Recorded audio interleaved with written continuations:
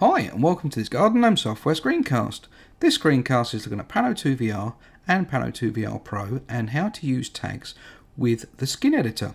Now this um, follows on from a previous video showing you how to add tags to your project files. If you've not seen that, check it out first because this video follows on from that one.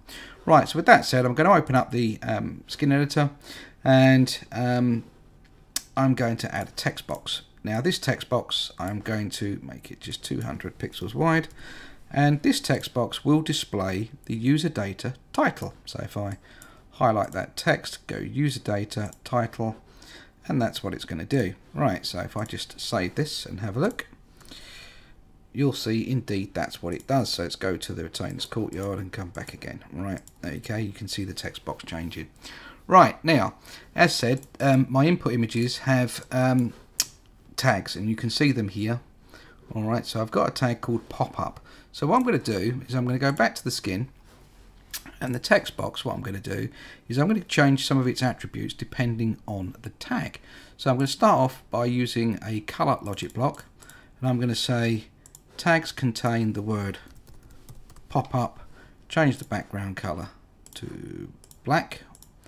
And then I'm going to say um, the text color Again with the tags, if it contains the word pop up, change the text color to white. So basically I'm just inverting it. And let's have a quick look. see how far we got.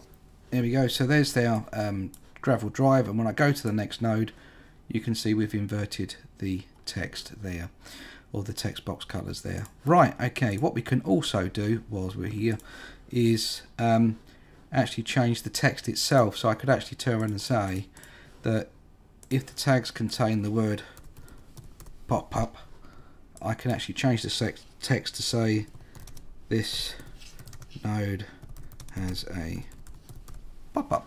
There we go. So what will happen now is when we visit a node with a pop up, changes its color, says this node has a pop up. When we carry on, we're back to reading the user data titles. So that's that's quite cool. Right, okay, so that's one use of tags.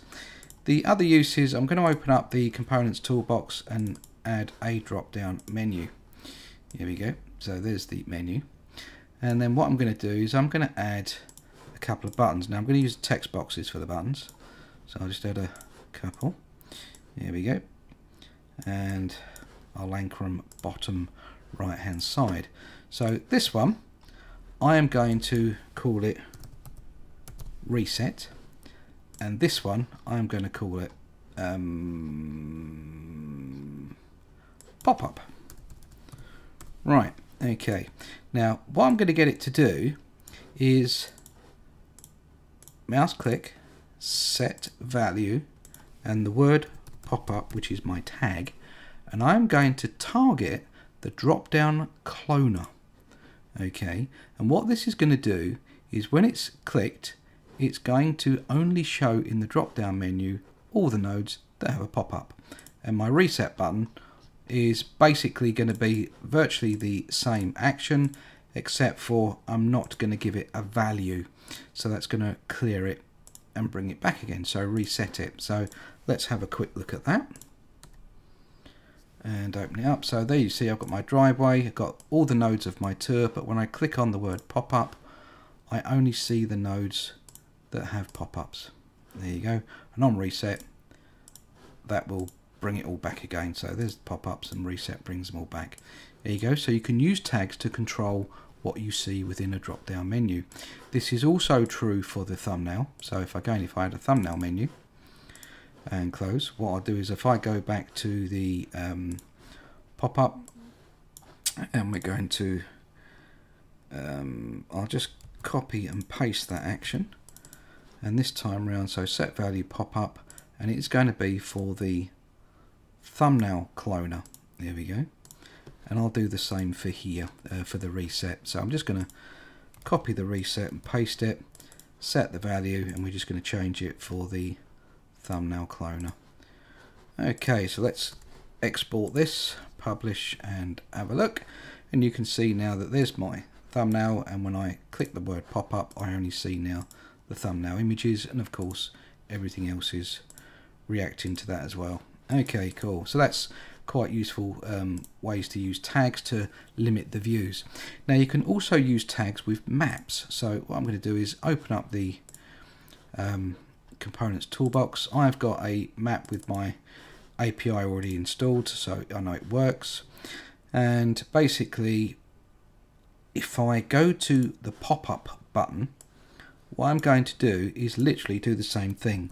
So I'm going to copy and paste this action. I'm going to set the value pop up but this time round I'm going to set it to map 1 if I click OK and do the same with the reset so copy and paste the action. Um, changing that to map 1 click OK and what we should now see is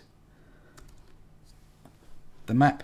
Here we go there's all my pins and as soon as I hit pop up I only see the pins in the locations where there's pop-ups. Cool right I've got one more little trick I want to show you to do with the maps and that's um, you can use your own custom map markers so or map pins. So I'm going to use a rectangle I'm going to make it um, uh, 16 by 16 pixels big. Um, I'll uh, set its radius to 999 pixels. There we go. And what I'm going to do here is what we because it's a, a color already but what I'm going to say is if the node contains the word tag say pop up it could be anything change the color. So I'm going to change it to green. Here we go.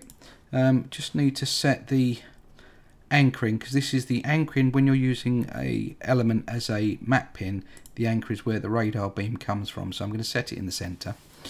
And basically what should happen now is um, actually one what I need to do is go back into the map then tell the map to clone as the marker rectangle 1 because that's what I've just added. And now what will happen is I'm going to replace all the um, pins with my own ones and the two nodes that have pop up the word pop up the tags are changing those uh, changing their colors. So this is quite useful if you want to do a custom map and you have say like a virtual tour of a village and you want to show where the fire station is or where uh, there may be cash machines or post offices you can actually now change the um, map pins in the map using or the color of the map pins using tags I just need to do one thing um, because my map pin will not work if I click it. I just needed it to give it the action of mouse click, open next panorama, hotspot URL, leave it at default view, and that will now be fully interactive. So I can just click on the map pins. There you go. That's how to use tags to influence the elements within the skin. And thanks for watching.